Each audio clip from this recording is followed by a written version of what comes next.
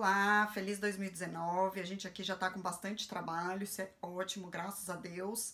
E semana passada eu fui fazer um closet e eu me deparei com uma situação que eu achei interessante, porque normalmente nos armários a gente tem uma excelente profundidade, tá?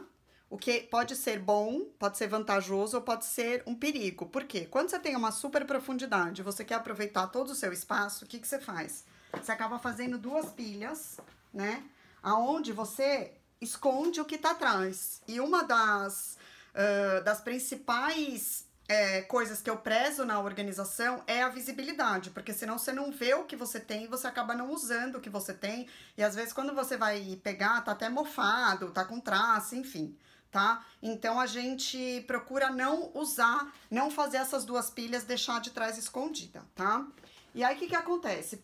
Nos moletons, né, você tem o capuz, que a, eles já são grossos, né? E você tem o capuz que acaba formando mais um volume. E aí, digamos que você só tem essa prateleira e esse espaço, você vai pegar e vai começar a massacrar. Eu vou exagerar um pouco, tá? Mas você vai massacrar para que eles caibam, né? E aí, digamos, você vai pegar esse, vai bagunçar tudo, né? E vai ter que começar tudo de novo, enfim, fica aquela guerra de tira a pilha, põe a pilha tal. E você só tem esse espaço, o que, que você faz? Então, exatamente aproveitando esta profundidade que você tem, é que eu resolvi deixar o capuz de fora, para trás, né, na dobra, e aí a pilha fica menor, fica mais baixa e você consegue manusear com mais facilidade, tá? Eu vou mostrar para vocês como é que fica. Vamos lá, por exemplo, no caso desse, que é um moletom que ainda é peletizado por dentro. Olha o volume dele, tá? Além dele ser pesado, ele tem um super volume, ele é como se fosse um cobertor tá? Então, o que, que eu recomendo? Não use gabaritos muito pequenos, tá? Porque senão você vai achatar muito, vai amassar muito e sua pilha vai ficar maior ao invés dela ficar menor, tá? Porque você, pelo tamanho da dobra, ainda mais com capuz, no caso, você vai pegar e vai, em vez de colocar cinco moletons, você vai colocar três e já sua pilha já vai estar até o teto, tá? E você não aproveitou o espaço. Então, eu recomendo para usar o gabarito grande, se for uma criança, digamos, um moletom de criança até uns, sei lá, tamanho 8, aí você pode usar aquele mediano, tá? Mas não muito menor. Então vamos lá. Nesse caso, então, o que, que a gente vai fazer? A gente vai colocar o capuz pra fora para aproveitar aquela profundidade que você tem. Se por um acaso você não tiver muitos moletons de capuz, né, e você falar, ai, ah, não, não preciso, o que, que você faz? Para o capuz não ficar fazendo tanto volume, você pega aqui bem no meio, tá? Como se estivesse fazendo essa dobra e coloca pra cá, ó. Que aí ele achata, tá vendo? Ele não faz tanto volume do que você deixar ele assim, tá? Então, de novo, você pega aqui, ó, no meio e joga pro lado, tá? Que ele achata e aí você dobra.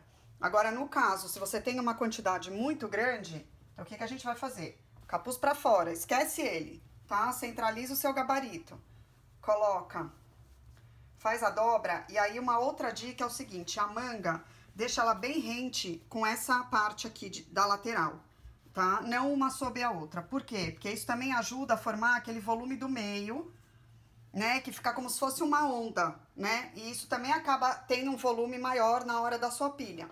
Então, assim, em vez de pegar a manga e colocar uma sobre a outra, deixa ela bem separada, ó. Separou, tá vendo? Aí tira o gabarito e dobra.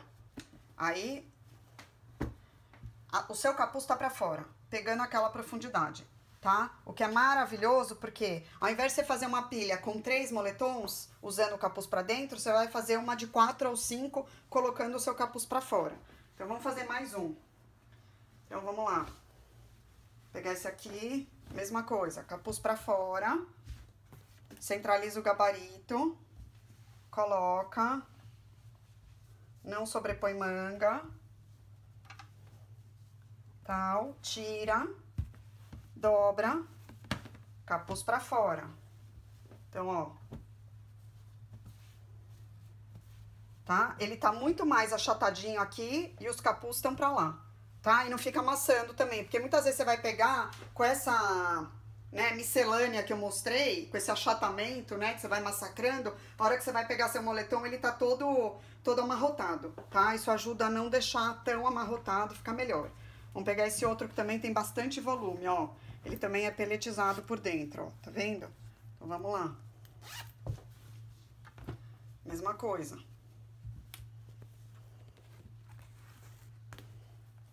Centraliza, dobra.